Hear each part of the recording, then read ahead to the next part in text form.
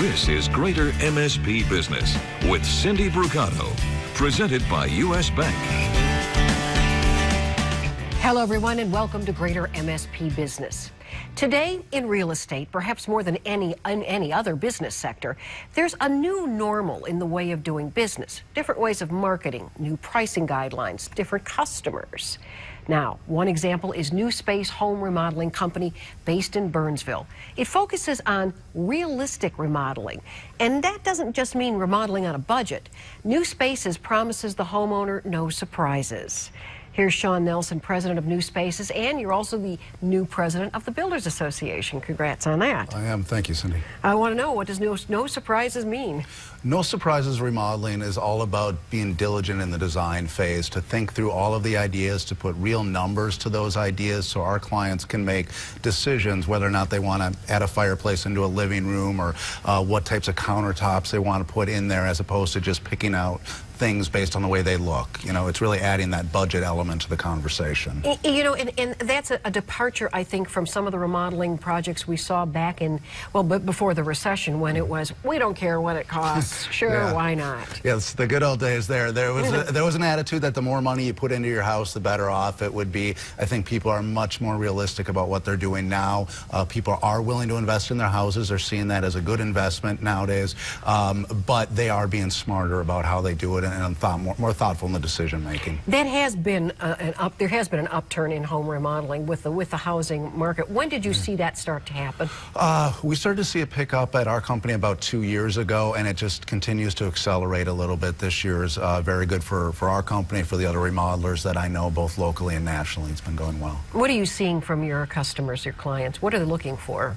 Um, they are looking for help with design to make their investment go the farthest. The designer can help in two ways. One, making sure that everything comes together really nicely, but also making sure that you're making very good budget decisions because they know various products and sources. And so if you're looking for something, um, they can usually find a way to do it a little bit more uh, affordably than, than you may think. And this is one of your projects here, one of, one of your crews out there at a house in Burnsville, I believe this yes. was. Yep. And, uh, you know, the, what is, as long as we're looking at this kind of video, what kind of project cost are we looking at that is a typical, this is a kitchen remodel? This is a kitchen remodel, and most of the kitchens that we've done in the past year are somewhere between about 35000 and 85000 um, big spread there, and that's really what we try to help people understand of where their money will go, what they can get at different price points within there so that they can make the right decision for them because everyone's going to have a different budget based on their family situation, where they live, all of those things. And again, this is a change from the pre-2008 days when we were seeing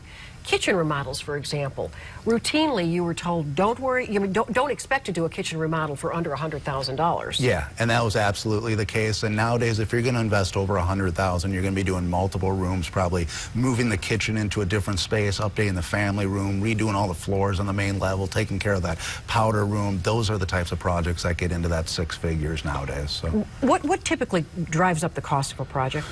Um, changes to the floor plan will drive costs because you're going to have electrical and plumbing changes, um, changes to the exterior additions, uh, windows, things like that. And then from there, we really get into the selection. So countertops can vary uh, significantly in price.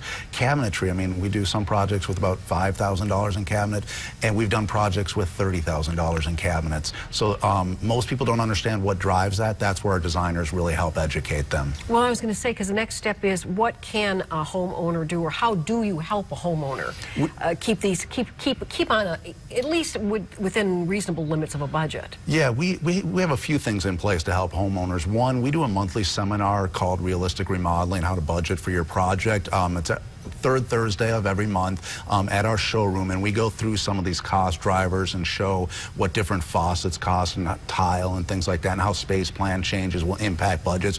So what we want is for you to understand that overall big picture before you start the design process and figure out where you're comfortable. Then during the design process, we'll typically do three different plans, one at a little bit lower range, one at a little bit higher range, and show you what you might get if you put a little bit more money into it, or how you could control that budget and still accomplish most of your priorities. Oh, that would that's always nice to have. Absolutely. Let's have you uh, switch hats for a minute and, and, and, go to your role as incoming president or new president of the Builders Association. Um, what is the uh, what's the association looking at in terms of growth for the next foreseeable future? Um, I think on both the new home construction and the remodeling side, uh, the growth looks uh, looks pretty good. This year, um, the home builders are, fairly happy. The market seems to be coming back. We're definitely not to where we were. We're, we definitely have some issues um, in terms of the regulatory environment and the cost basis for some new homes. Um, but in general, it's growing, and people are able to find the new house where they want it, um, in the right school districts, in the right location, um, and at different price points. Well, you know, in the introduction, I, I referred to the new normal, which in housing has has tended to focus on the fact that the houses are never going to hit that peak again in terms of rel relatively in terms of the mm -hmm. of their prices. Do, do, you think that's going to be the case that we're we're, we're going to see a, a downward motion, a pressure to keep prices a little bit more reasonable?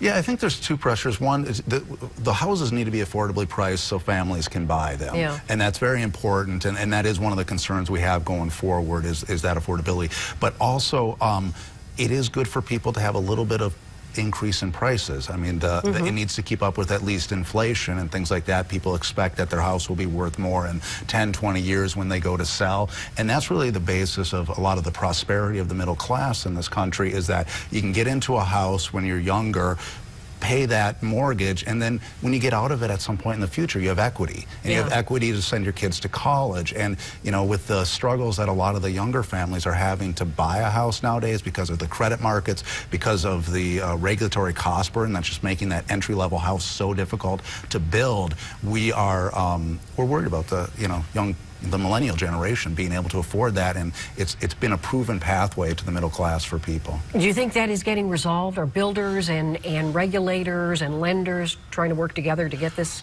um, unfortunately, not as well as we would like. Yeah. In the state of Minnesota, um, uh, we just we see more cost pressures coming on with things like expensive sprinkler systems that'll go into new houses starting next year. That that frankly uh, we don't see a need for. New homes are already extremely safe.